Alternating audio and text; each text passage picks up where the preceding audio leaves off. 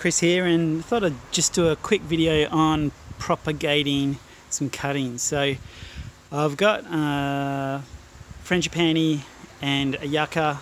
Um, you can see a frangipani cutting. I've just stuck it into this tomato here. Um, it's got some new growth on it.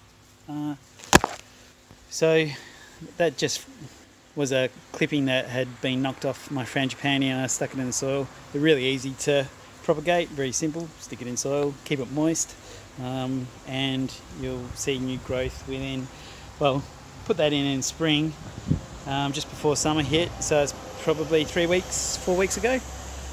And done the same, these are probably a bit older, six to eight weeks, um, the yuccas, so just knock these off or cut them off to clear some space. And I thought I'd stick them in pots and see how they go. And um, the stalks or the stems were quite long and I just cut up some chunks and you can see there on that little um, stumpy bit next to the main yucca that I cut off. Um, got new shoots there as well. Um, this one down here has got new shoots there as well. So they're probably about four to six weeks old.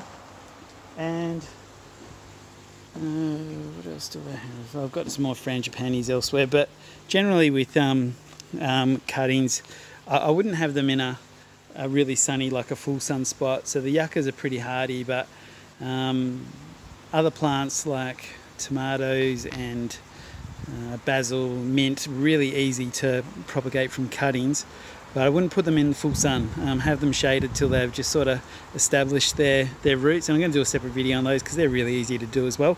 But I thought I'd share this one just to show the uh, cuttings um, that I've got happening at the moment. Thanks for watching. Hope you get something out of it. Cheers.